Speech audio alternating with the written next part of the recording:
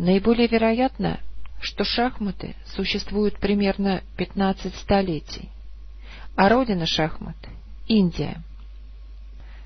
Первые данные о шахматах историки относят к 570 году нашей эры. В старинных рукописях встречаются упоминания о первоначальной форме шахматной игры, называвшейся четуранга. Этими словами индийцы обозначали армию, состоящую из четырех видов войск.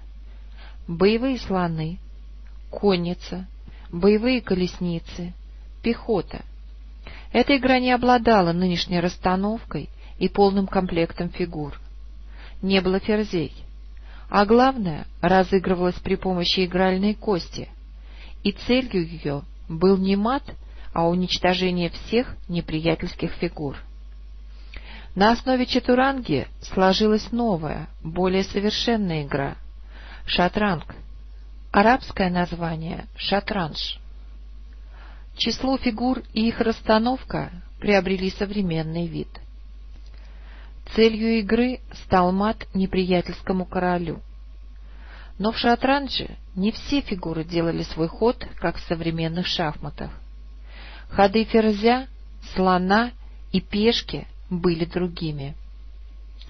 Староиндийские шахматы постепенно изменялись и превратились в ту игру, которая позднее пришла в Европу через соседние с Аравией страны.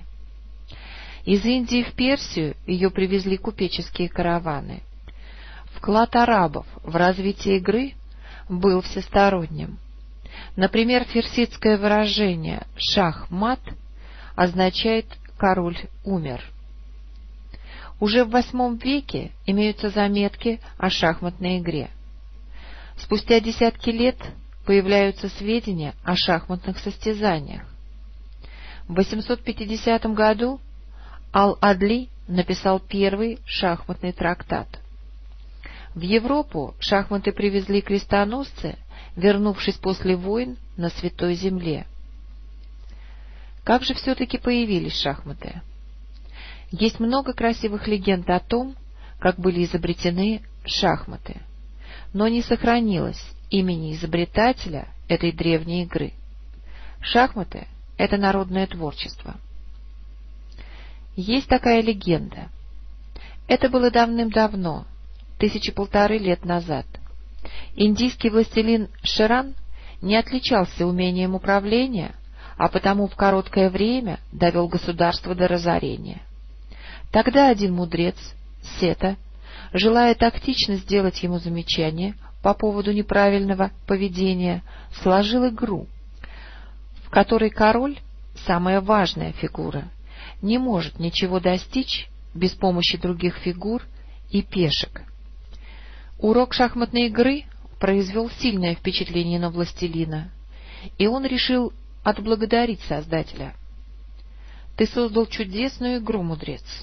Проси награду, какую захочешь. Такая игра достойна быть забавой царей». В награду за изобретение Сета попросил зернышко пшеницы за первое поле шахматной доски, два зернышка за второе, четыре за третье и так далее, удваивая число зерен с каждым последующим полем. Шрам удивился и решил, что речь идет об одном-двух мешках пшеницы. Это казалось скромной просьбой, но выяснилось, что общее число зерен превышало весь мировой запас зерна.